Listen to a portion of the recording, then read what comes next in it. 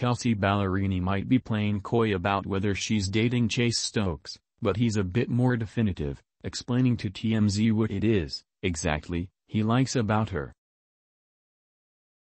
The Outer Banks star confirmed to our photog Tuesday he and the country singer are, in fact, an item, but whether he meant for it to slip out the way it did is another story. Check out our chat with him in LA, where we congratulated him on his new boo. Rather than correct us or clarify anything, he simply said thanks, and even gave us an answer when we asked what Kelsea brings to the table in their relationship.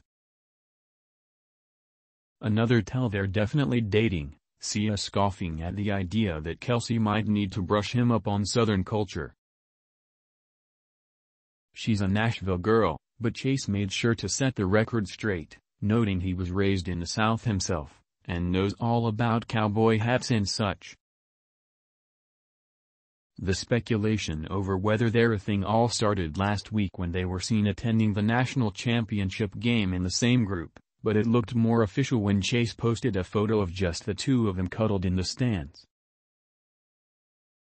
That seems to be the IG official pic, but Chase is letting people come to that conclusion on their own. He didn't comment on the game shot, but happily talked about Kelsea. For her part, Kelsea reacted to the gossip with a non-answer answer, rolling her eyes at some deuxmoi chatter about them and a lot of really? Don't worry about it, KB. Chase is happy to play the straight shooter on this one, and sounds like he's claiming yeah,